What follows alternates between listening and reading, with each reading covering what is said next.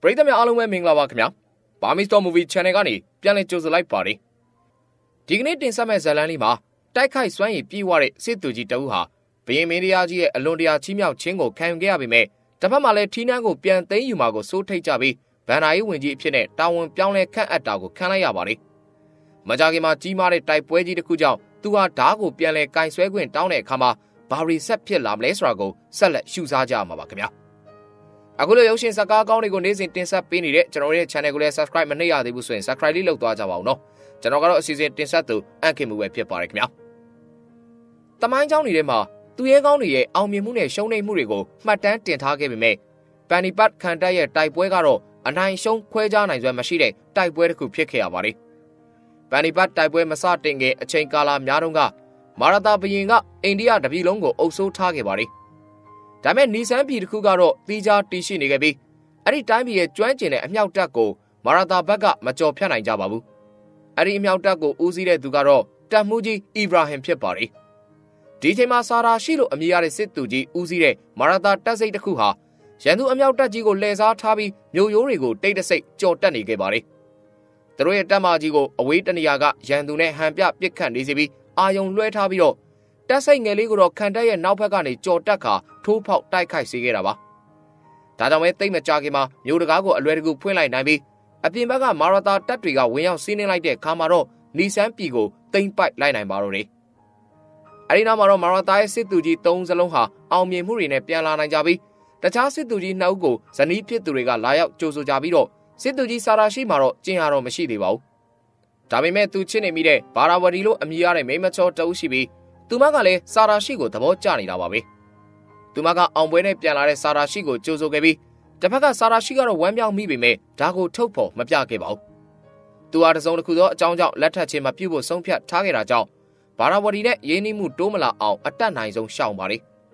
ဒါပေမဲ့ဘာရာဝတီကစာရာရှိရဲ့ချစ်ချင်းကိုခန်းစားသိရှိနေတာကြောင့်နီးကပ်ခွင့်ရအောင်စူးစမ်းပြီးတော့သူမကိုဖွင့်ပြောမဲ့နေ့ကိုစောင့်နေခဲ့ပါလေပြီးတော့သူမဟာနန်းတွင်သမားတော်လည်းဖြစ်ပြန်တဲ့အတွက် ဆာရာရှိရဲ့ဒဏ်ကိုကုသပေးမဲ့အကြောင်းပြချက်နဲ့ဆာရာရှိစီကိုမကြာခဏလာရောက်ခွင့်လည်းရခဲ့ပြန်ပါလေဘီယမေရီယာကြီးကလည်းစစ်သူကြီး၃လုံးကိုခေါ်ယူပြီးတော့စုလက်များပေးကချီးမြှောက်တော်မူပြီးအားလုံးထဲမှာတိုက်ရိုက်ခိုက်ရိုက်ပြေးဝပြီးတော့အထက်မြတ်ဆုံးဖြစ်တဲ့ဆာရာရှိကိုတော့အထူးသဘောကျနေပါလေပြီးခဲ့တဲ့တိုက်ပွဲမှာသူဟာအောင်မြင်မှုနဲ့အတူပြန်လာနိုင်ခဲ့တဲ့ပြင်ရန်သူအမြောက်တပ်ရဲ့စစ်သူကြီးကိုပါမာရာတာတပ်နဲ့ပူးပေါင်းမှုစီးအုံနိုင်ခဲ့ပြီးသူ့ရဲ့အရေးပါတဲ့အမြောက်တပ်မှာဦးစီးထားရှိစေပါလေ ဘယင်ကြီးကစာရာရှိရဲ့ဉာဏ်ပညာကိုစိတ်ချယုံကြည်တာကြောင့်ရန်သူတူကိုအခုလိုရေးပါတဲ့ယာရုမှာခန့်အပ်ထားခြင်းကိုဘာတန်တရားမှမရှိခဲ့ပါဘူးဘယင်ကြီးရဲ့ယုံကြည်လေးထားမှုနဲ့ချီးမြှောက်မှုတွေများစွာရရှိတဲ့စာရာရှိပေါ်ကိုတခြားစစ်သူကြီးတအုပ်ကတော့တိတ်မကျေနပ်ခဲ့ပါဘူးသူထက်ကိုပိုပြီးမကျေမချမ်းဖြစ်နေသူကတော့မိဘကောင်ကြီးပဲဖြစ်ပြီးစာရာရှိအာနာအရှိန်ဝါကြီးထွားလာတဲ့တနေ့မှာထီးနှန်းကိုပြန်သိမ်းပိုက်မှာကိုစိုးရိမ်နေကြတာပါမိဖုရားကြီးကဒီစိုးရိမ်မှုကိုဘယင်ကြီးကိုဖွင့်ပြောတဲ့အခါ စာရာရှိရဲ့စိတ်ရင်းနဲ့တစ္ဆာစောင့်သိမှုကိုစိတ်ချယုံကြည်တဲ့ဘယင်ကြီးကစာရာရှိလိုလူဟာဘက်တော်မှတစ္ဆာဖောက်ပြီးပုံကံမှာမဟုတ်ကြောင်းပြောပါတယ်ဒါမဲ့လည်းနောက်ဆုံးမှာတော့မိဖုရားကြီးစိတ်ချနေစေဖို့လိုက်လျောပေးခဲ့ရတာပါပဲဘယင်ကစစ်ပွဲကြီးကြောင့်ဗန်နာကြီးပြဿနာတွေကြုံတွေ့နေရပြီးထက်မြက်တဲ့သူတအူးကိုဗန်နာကြီးစီမံခန့်ခွဲစေဖို့လိုအပ်တယ်ဆိုတဲ့အကြောင်းပြချက်နဲ့စာရာရှိကိုဗန်နာရေးဝင်ကြီးဖြစ်ခန့်အပ်လိုက်ပါတယ်။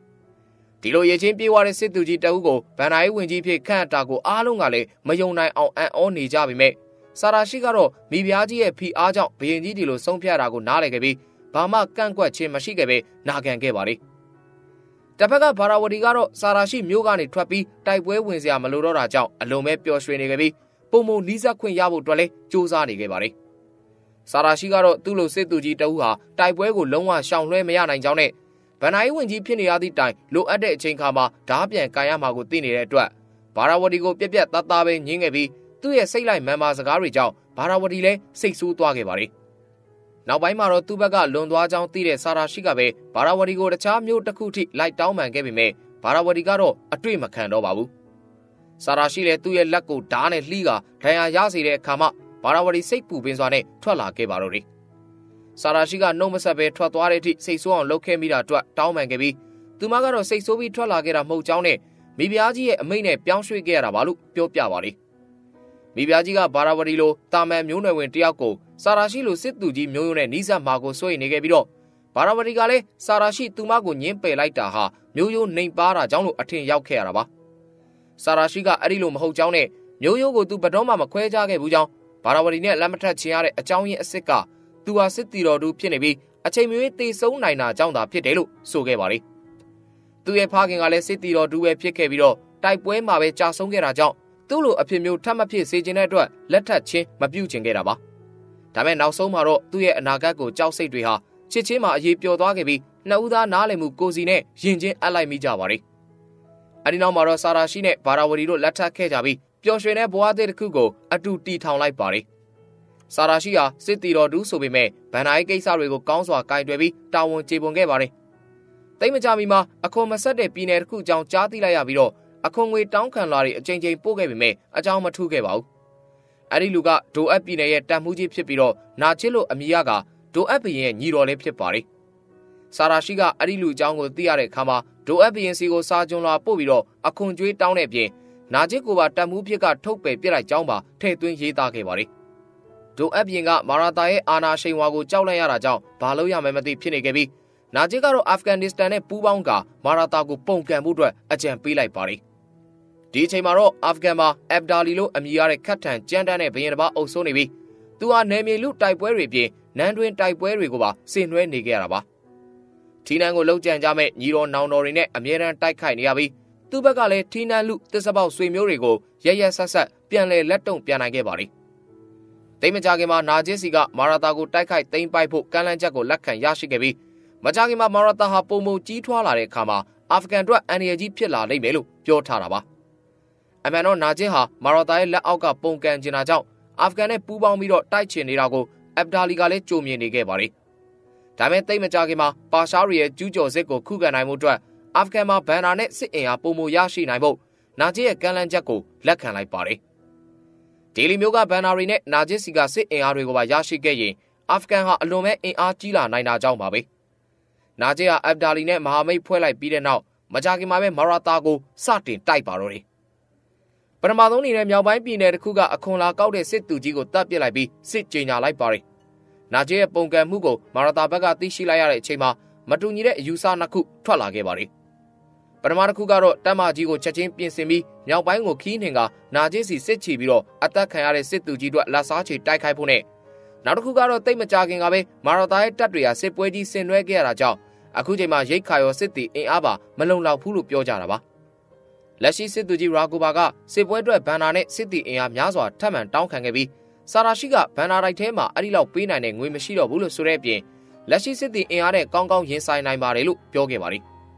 ရာဂိုဘာကကညစ်တန်ကင်ပြီးငွေစင်းတွက်တဲ့သူကစစ်ပွဲကြောင်းဘလောက်သိနိုင်မှာလဲလို့ပြန်ပြောလိုက်တဲ့အခါမှာတော့ဆာရာရှိကယခုတစ်ချိန်စစ်ပွဲမှာသူ့ကိုစစ်သူကြီးဖြစ်ခန့်ပြီးစစ်လွတ်ပေးဖို့ဘရင်စီမှာတောင်းဆိုလိုက်ပါတော့တယ်သူကမြောက်ပိုင်းကပြည်နယ်တွေကစစ်ကူတွေကိုယူပြီးတော့ရင်ဆိုင်မှုစီစဉ်ထားပြီးအဲ့ဒီပြည်နယ်ကစစ်တီတွေကိုလည်းအလွယ်တကူတောင်းခံနိုင်လိမ့်မယ်လို့လည်းယုံကြည်ထားတာပါနောက်ဆုံးမှာဘီရင်ကြီးကစာရာရှိရဲ့တောင်းဆိုချက်ကိုပဲလက်ခံလိုက်ပါတယ်တစ်ဖက်ကမိဖုရားကြီးကလည်းစာရာရှိလိုအရေးချင်းပြေးသွားတဲ့စစ်သူကြီးတူဟာ ဒီလိုနှဲပါတဲ့အင်အားနဲ့ပဲစစ်ချီခဲ့ရသည့်တိုင်အောင်နိုင်မှုကိုရယူနိုင်မှာကိုကြုံမြင်နေပါတယ်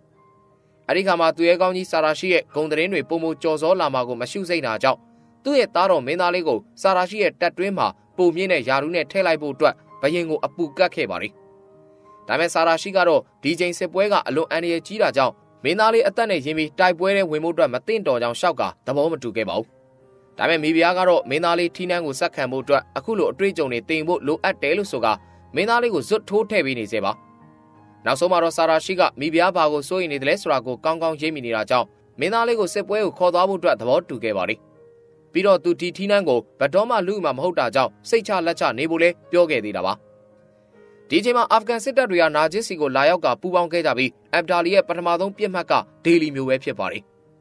ဒေလီမျိုးဟာရွှေငွေရတနာများစွာပေါ်ကျွယ်သွားတာကြောင့်သူ့ရဲ့တပ်ကိုပုံမတောင်တင်းစေဖို့ကောင်းကောင်းအထောက်ပံ့ရမှာဖြစ်ပြီးဒါမှလည်းပါရှန်တွေအာဖဂန်ကိုကျူးကျော်မဲ့ရန်ကကာကွယ်နိုင်မှာပါ။ဒါမဲ့ကောက်ကျစ်ညံများတဲ့နာဂျစ်ကဒေလီကိုတပ်တွေဆေးလွတ်ကအရင်သိမ့်ပိုက်ထားလိုက်ပြီးဒေလီယာကြာပြီးသားမျိုးဖြစ်လို့အရေးမကြီးတော့ကြောင်းနဲ့အခုချိန်မှာသူတို့စီစစ်ချီလာတဲ့မာရတာတပ်တွေကိုအရင်တားဆီးတင်ကြောင်းပြောပါတယ်။အမှန်တော့ဒါဟာအာဖဂန်တပ်ကိုအသုံးချပြီးနာဂျီရဲ့မြို့ကိုကာကွယ်လိုက်တာဆိုတာကိုအက်ဘဒါလီသိနေတယ်လို့ မာရာတာတပ်တွေကိုအခုလိုတားဆီးပြီးကြိုတိုက်လိုက်တာဟာလေအကြံကောင်းတစ်ခုဖြစ်တာကြောင့်လက်ခံလိုက်ပါရီဒဒီအချိန်မှာမြောက်ပိုင်းဘက်ကိုဥတီချီတက်နေတဲ့ဆာရာရှိကခီးတစ်လျှောက်ပြည်နယ်အသီးသီးနဲ့မဟာမိတ်ဖွဲ့ပြီးတော့စစ်အင်အားတွေလည်းတောင်းခံလာခဲ့ပါတယ်။ဒါမဲ့ဒီလောက်အင်အားနဲ့လည်းအာဖဂန်ကိုမရှင်နိုင်သေးတဲ့အတွက်နောက်ထပ်ပြည်နယ်တွေကိုထပ်မံချင်းကပ်ပြီးမဟာမိတ်ဖွဲ့နိုင်မှုအတွက်ကြိုးစားနေသေးပါပြီ။ဒီလိုရနိုင်မှုလုံပိုင်ခွင့်အာဏာရှိန်ဝါငွေကြေးမြောင်များစွာဖြင့်အခွန်ကင်းလွတ်ခွင့်စတာတွေနဲ့အပေးယူလုပ်ခဲ့ရတာပါ။ တစ်ဖက်ကအက်ဘ်ဒါလီကလည်းမာရာတာရဲ့လက်အောက်မှာမနေခြင်းနဲ့ပြည်နယ်တွေရှိနေတာကိုသိနေခဲ့ပြီး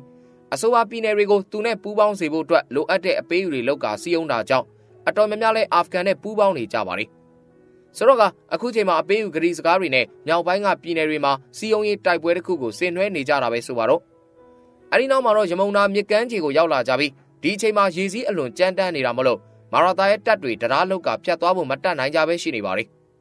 ဒီအချိန်မှာမြေရဲ့တစ်ဖက်တစ်ဖက်ကမ်းကိုလည်းအက်ဘ်ဒါလီရဲ့တပ်တွေရောက်လာကြတာကိုတွေ့လိုက်ကြပြီးအာဖဂန်ဘက်မှာလည်းပြည်내အတော်များများနဲ့ပူးပေါင်းထားပြီးကြောင်းသူတို့သိလိုက်ကြရပါတယ်။ဒါကြောင့်ပဲမာရာတာရဲ့တပ်အင်အားဟာအာဖဂန်တပ်လွန်စွာနှဲပါနေပြီးမြင့်ရည်စီလဲလာနဲ့ချီပြီးအရှိန်ကျန်းနေတာကြောင့်နှစ်ဖက်စစ်တပ်တွေဟာလမ်းဘေးမှာတပ်ဆွဲကရပ်နားနေကြပါတယ်။ဒါမဲ့ဒီလိုအခြေအနေမှာရိတ်ခါနှဲပါနေတဲ့မာရာတာဘက်ကတပ်တွေကနစ်နာရပြီးဆာရာရှိကတော့သူ့ရဲ့တပ်တွေပြန်ဆုတ်ခဲ့ရင်သူတို့နဲ့ပူးပေါင်းခဲ့တဲ့မဟာမိတ်တွေကို အက်ဘ်ဒါလီသိမ်းပိုက်ဖို့အတွက်လမ်းဖွင့်ပေးလိုက်သလိုဖြစ်သွားလိမ့်မယ်လို့ဆိုက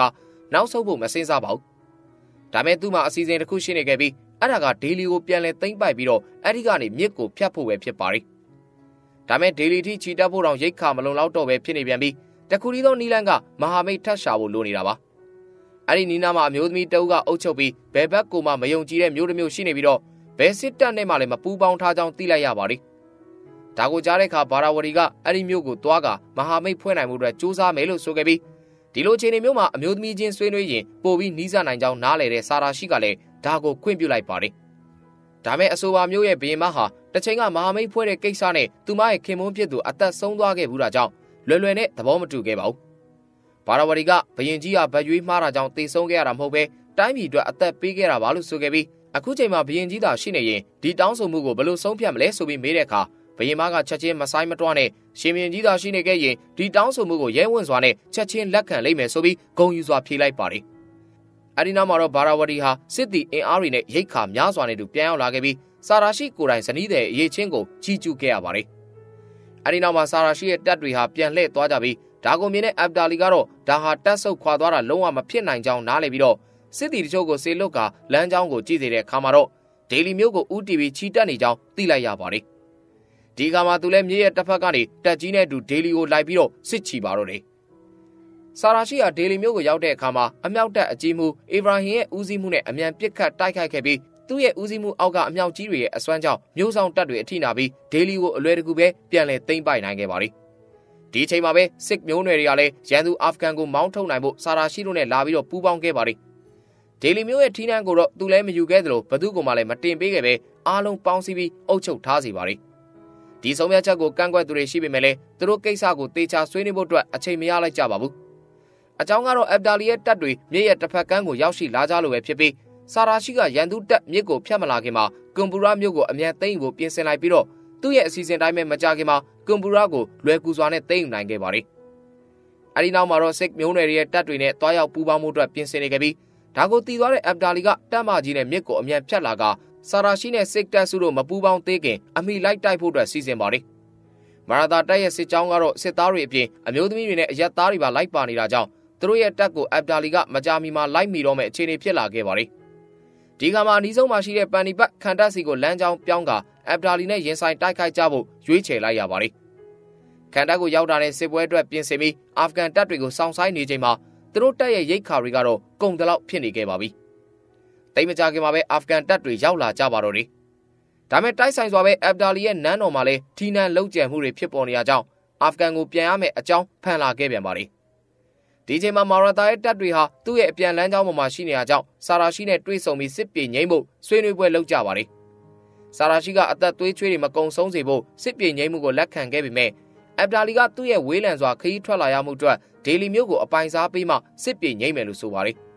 ဆာရာရှိကသဘောမတူနိုင်တဲ့အပြင်သူ့ရဲ့တိုင်းပြည်ကစုတ်ခွာသွားပြီးနောက်တစ်ချိန်အိန္ဒိယနယ်မြေထဲကိုလုံးဝမကျူးကျော်ဖို့အတွက်ဂရိပါပြန်တောင်းဆိုပြီးတော့နှစ်ဦးနှစ်ဖက်ဘယ်သူမှအရှော်မပေးကြပဲအချိန်တွေကပြန်လဲတေးမာလာခဲ့ပါတယ်။နောက်ဆုံးမှာတော့အက်ဘ်ဒါလီကအကြီးကျယ်စိတ်ဆိုးပြီးထီနန်းပုံကံမှုကိုဂီမထားတော့ပဲစစ်ပွဲကိုဆက်လက်တိုက်ခိုက်ဖို့အတွက်ဆုံးဖြတ်လိုက်ပါတော့တယ်။အအဲ့ဒီနေ့ညမှာတော့နှစ်ဖက်အဖွဲ့တို့အသီးသီးစစ်ပြူဟာတွေချမှတ်ကြပြီးဆာရာရှိဘက်ကထက်မြက်တဲ့ညရင်နဲ့တောင်းစီအောင်စီစဉ်ထားသလို အက်ဒါလီဘက်ကလည်းကျွမ်းကျင်ပိုင်နိုင်တဲ့နီးပြူဟာတွေနဲ့ပြင်ဆင်ထားခဲ့ပါလေ။ဒါပြင်ကိုအက်ဒါလီဘက်ကစစ်တီအင်အားတသိန်းခွဲထိရှိတာကြောင့်ဆာရာရှိတပ်ရဲ့အင်အားထက်နှစ်ဆလောက်ပိုပြီးတာလွန်နေတာပါ။တစ်ဖက်မှာတော့ဆာရာရှိရဲ့တိုက်ပွဲပြူဟာထဲမှာမင်းသားလေးကိုတော့နေရာမပေးထားခဲ့ပါဘူး။သူကမင်းသားလေးရဲ့အသက်ကိုထိခိုက်မှာစိုးရိမ်နေတာကြောင့်ဖြစ်ပေမဲ့မင်းသားလေးကတော့ဆာရာရှိနဲ့အတူရှင်တွဲတိုက်ပွဲဝင်ကျင်နေဆိုပြီးတောင်းဆိုနေတာကြောင့်နောက်ဆုံးမှာဆာရာရှိကလိုက်လျောခဲ့ရပါတယ်။ဒါမဲ့စင်ပေါ်မှာပဲနေရမှာဖြစ်ပြီးအောက်ကိုလုံးဝမစင်းလာဖို့လည်းမှားထားလိုက်ပါတယ်။